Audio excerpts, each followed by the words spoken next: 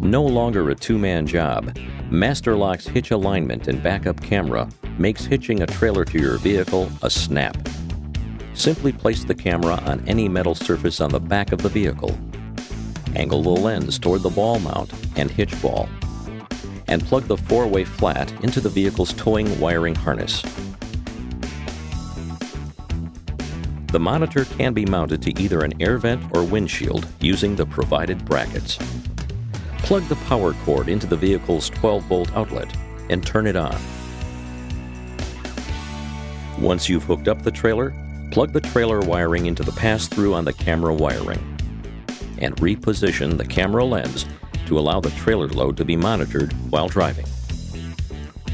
When you're not towing, insert the camera unit into the receiver opening.